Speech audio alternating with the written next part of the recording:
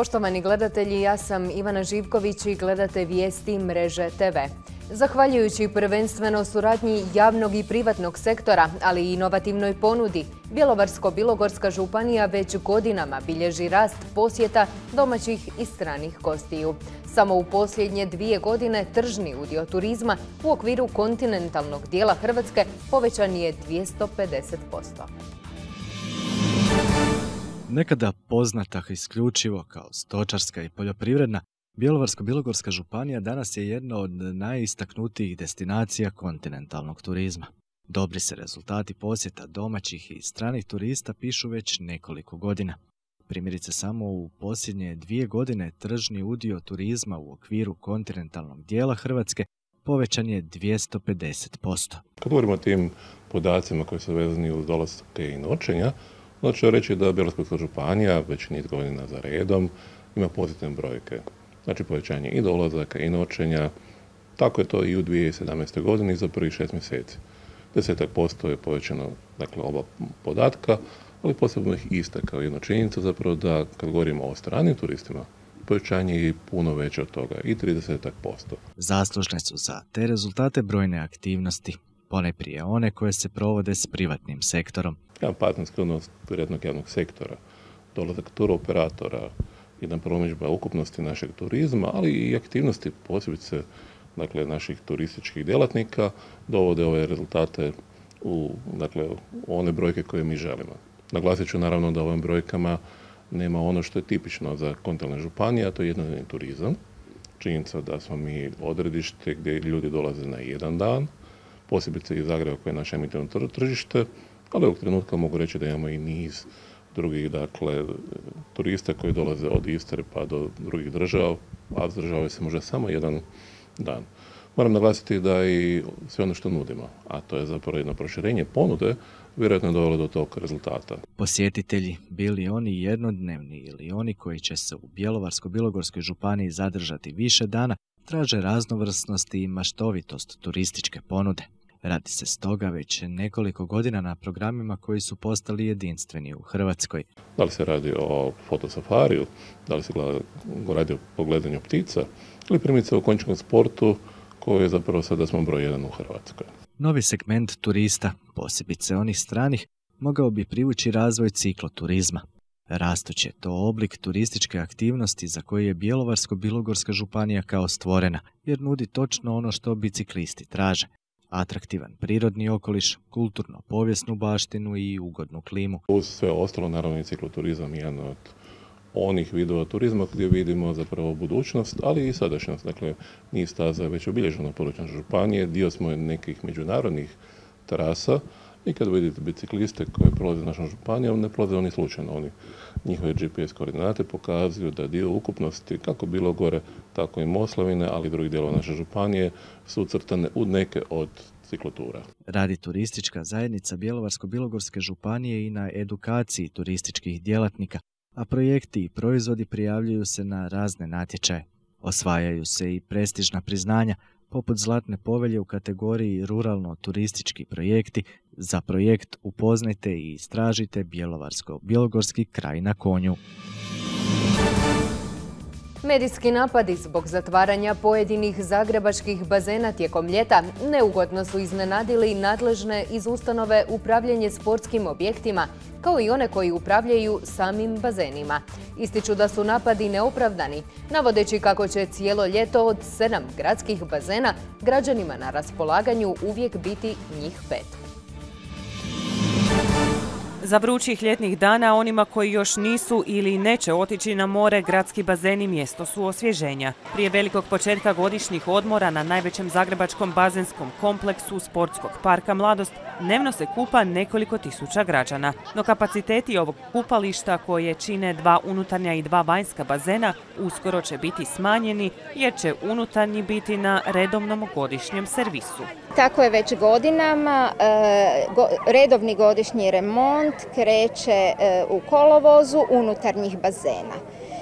Zato zbog toga što je to e, vrijeme kada je najmanje naših sugrađana u gradu, kada sportaši imaju svoju redovnu godišnju pauzu, pa e, iz tog, iz tog razloga je to i tako odlučeno. Ipak uvjeravaju nas iz ustanove, to nikako neće utjecati na sezonu kupanja.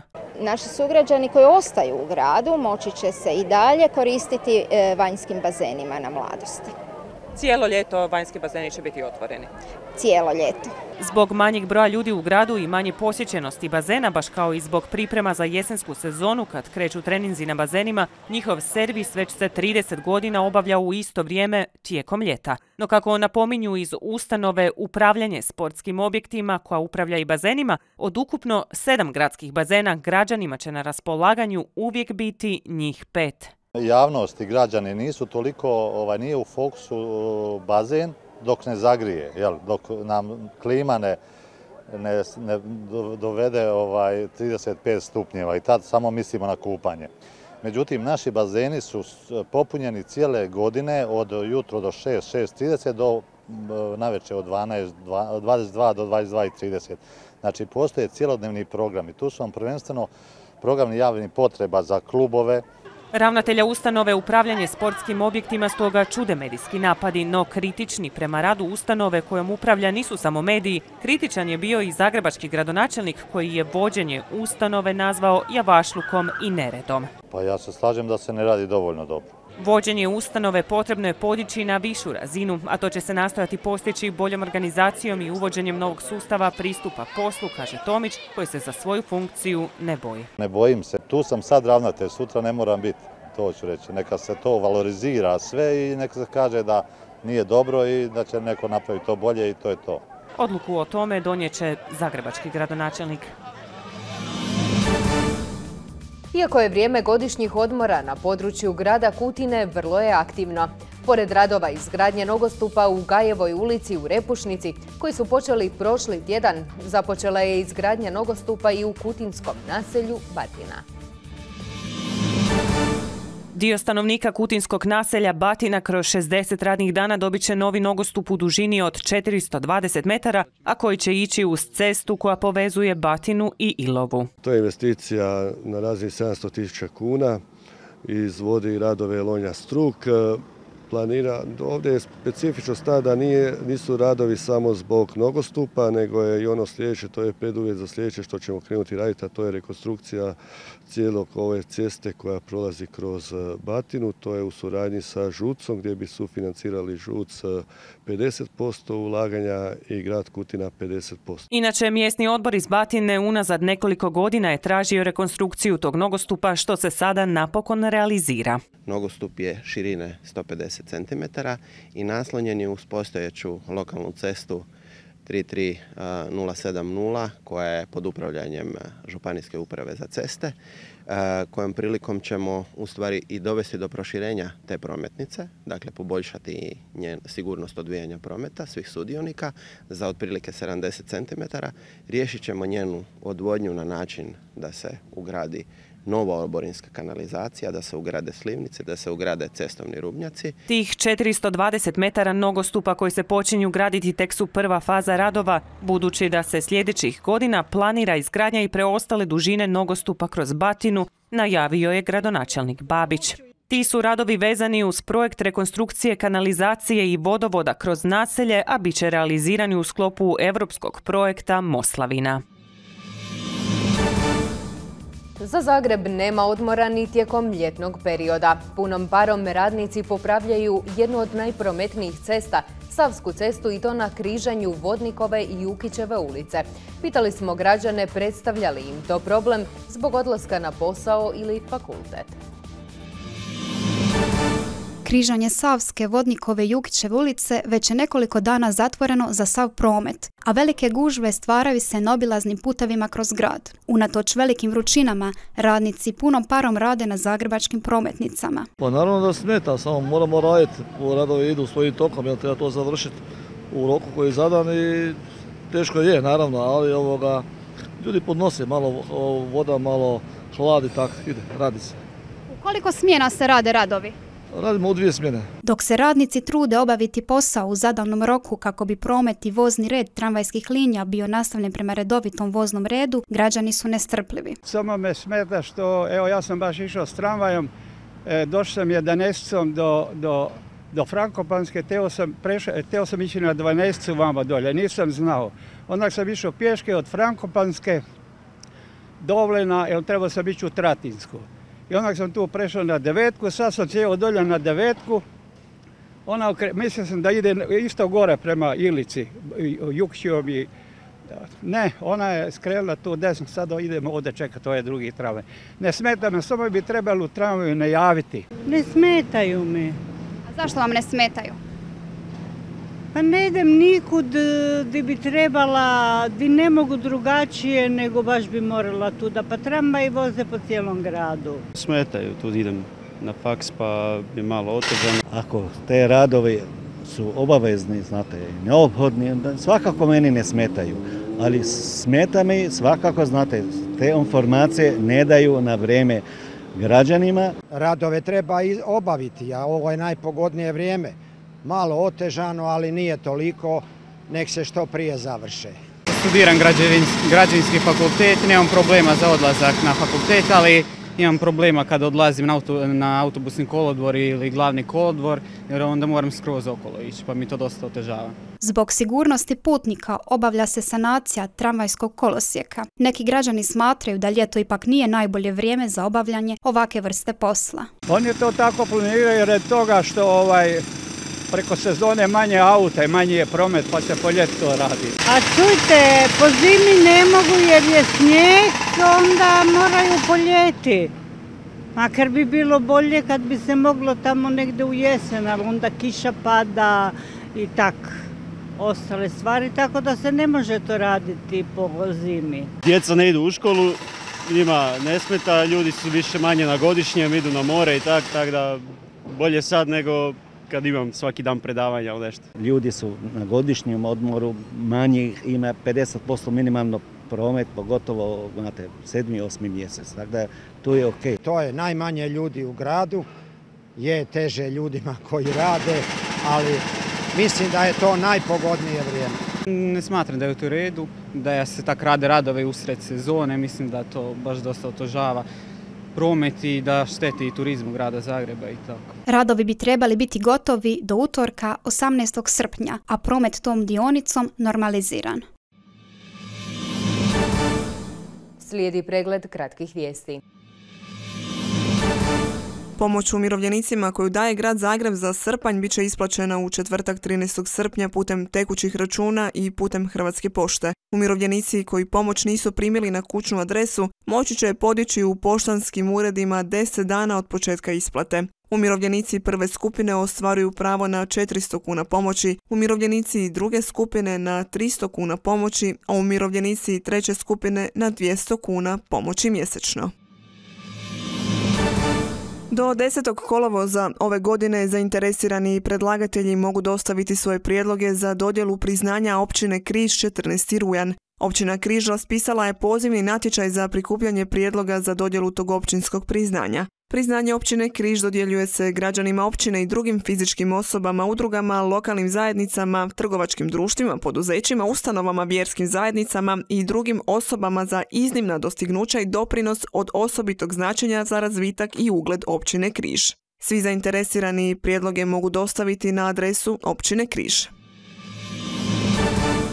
Grad Zagreb i ove godine organizira besplatno ljetovanje za vrijeme trajanja ljetnih školskih praznika djeci iz obitelji slabijeg imovinskog stanja. Ljetovanje je u potpunosti besplatno, osim 24-satnog stručnog pedagoškog rada i zdravstvene skrbi, obuhvaća edukacijske, kulturne i zabavne sadržaje te sportsko-rekreacijske programe. Prva grupa od 80 djece bit će smještena u odmaralištu Cvrčak u Dugoj uvali. Ovo nam je prva grupa djece koja je otišla danas za Dugu uvalu ukupno 80 djece i to je nešto što radimo svake godine već od 2001. godine. Znači, program ljetovanja koji pokazuje izuzetne rezultate e, i ono što dobivamo povratno od roditelja je zaista zahvala jer e, mnoga od njih ne bi nikad vidjeli more da im se to ne osigura.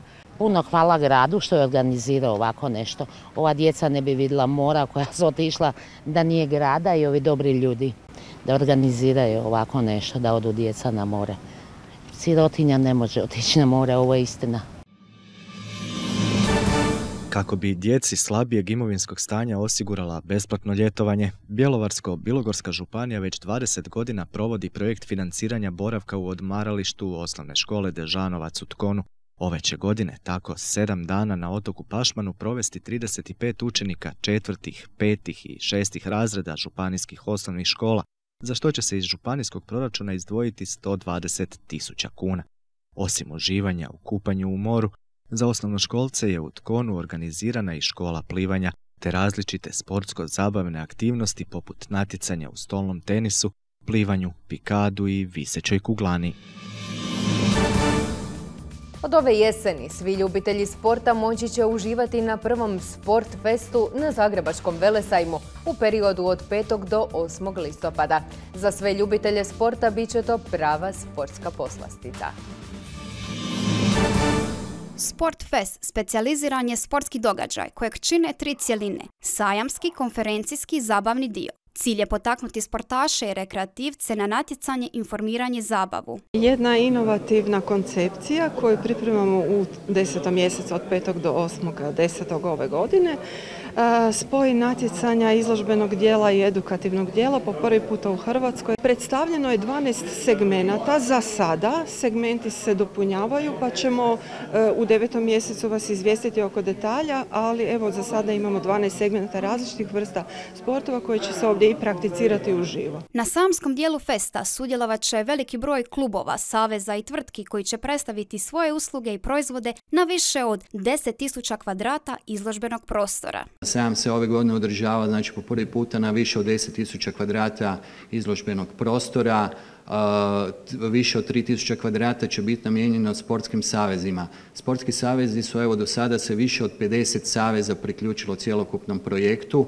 Znači svako od njih će dati neki svoj sadržaj. Sportski dio bit će organiziran u dane vikenda, a idealan je za provod s obitelji. Subota i nedjelja su onako više možda dani kad su namijenjeni za obitelj. Svako iz obitelji, da li je to otac, majka sa djecom, roditelji, moći će doći zabaviti se, ovaj, iskoristiti kvalitetno ovaj, sad, dva vremena na Velesajmu. Ovo je prilika da se i mlađa populacija, barem rekreativno, uključi u sport. Ovo je, kao što su rekli, prvi put da se ovako nešto održava ovaj, u Hrvatskoj i mislim da je jako bitno jer sport općenito za razvoj eh, mladih ljudi je stvarno bitan i znamo da već godinama to sve ide prema dole, znači propada, a s ovim bi vjerojatno mladi ljudi bili potaknuti da se još više bave sportom. Sudionici koji odluče posjetiti barem rekreativno Velesajm imat će priliku okušati se ne samo u sportu, već u drugim zanimljivim aktivnostima i nagradnim igrama. Organizirana će biti velika izložba sportskih karikatura. Više o Sportfestu i načinu sudjelovanja na aktivnostima možete pronaći na njihovoj službenoj web stranici. Na ovogodišnjem svjetskom rolerskom kupu nastupilo je više od 100 ski rolera iz 14 država. Ove godine je u Hrvatskom Zagoriju prvi puta nastupila reprezentacija Španjolske, koja je izborila norme za ovo svjetsko natjecanje koje se održalo u Bistri, Stubičkim Toplicama i Oroslaviju. Skijuški klub Oroslav je već niz godina organizira FIS Rollerski kup koji je jedno od najjačih nordijskih skijaških natjecanja u svjetskim okvirima. Ja sam izuzetno zadovoljan kao predsjednik organizacijskog odbora. Nakon 11 e, svjetskih kupova, 12 je zbilja odrađen, možemo reći, rutinski, bez jednog jedinog propusta uz ekipu gdje se nije čulo pod pitanje ili, ili bilo bilo kakvih nejasnoća. Mislim da nas je i vrijeme poslužilo, makar je malo i za natjecatelje danas i pretoplo, no međutim vidjeli ste i sami kroz ova tri dana da je bio odaziv i publike i, i navijača i, i suport građana, volontera, da je bilo to sve na zavidnoj visini. Ova utrka je specifična jer se vozi na nekoliko lokacija u Hrvatskom Zagorju. Evo, nalazimo se u centru Oroslavija gdje je današnja utrka sprinta vožnja znači samim strogim centrom. E, Kuriozitet e, ovog našeg svjetskog kupa, odnosno svjetskog kupa u Hrvatskoj u Oroslavi godinama je to da su staze kruga, brda i sprinta praktički jedna pokraje druge, a posebno sljemenska staza koja se nigdje u svijetu ne nastavlja praktički na ciljnu ravninu Alpske staze gdje se vozi snježna kraljica. Uz već ustaljena pravila ovog svjetskog kupa ove godine su donešena i neka nova. Ove godine svi natjecatelji koji su e, nastupili kroz svoje kategorije ostvaraju po prvi puta FIS bodove koji se u ukupnom zbiru sa zimskom sezonom e, prikupljaju radi ostvarivanja određenih prava na, za kvalifikacije na Europska svjetska prvenstva, Europske svjetske kupove i na kraju krajeva za olimpijadu. Tako da je svima koji su danas u Oroslaviju na prvom svjetskom kupu ovogodišnjem. Jako, jako bitno svaki, svaki bod koji se može ovdje e, ostvariti. Najbolja hrvatska juniorska natjecateljica dolazi iz domaćeg kluba, a osvojila je četvrto mjesto, što iziskuje dosta pripreme i vremena. Vremenski trening od početka, znači od proljeća imamo neki, nekih pet puta tjedno treninge znači do utrke. E, hrvatskih utrka ima četiri pred kroz godinu, a svjetska, evo, ovo nam je prva i jedina, nažalost, jer financijski stojimo jako loše, pa nam je teško ići van na veće utrke. Ovakvi događaji su odlična promocija Hrvatskog Zagorja i nemjerljivi su doprinos turizmu. Mi, mi radimo svi zajedno na imidžu našeg grada, svaki pona osob stanovnika Oroslavja, građanin, udruge, pa tako i ova lijepa sportska priča u cijelom e, obimu obuhvaća i e, taj turizam u gradu, a velim, mislim da je to preraslo Oroslavje, ovaj događaj i da utječe na turizam i na smještajne kapacitete i na sve ugostiteljstvo i tako dalje puno, puno, puno više nego što samo brojke mogu pokazati. Iako nama ova utrka ne izgleda previše važna, ona je u rangu sljemenske snježne kraljice, samo što spada u nordijske discipline. Rolerski je zapravo i osmišljen da trkači na skijama mogu vježbati cijelu godinu, a kasnije je prerastao i u natjecanja. Bilo je ovo sve u današnjim vijestima. Ostanite s nama, slijedi još vremenska prognoza. Želim vam ugodan ostatak dana.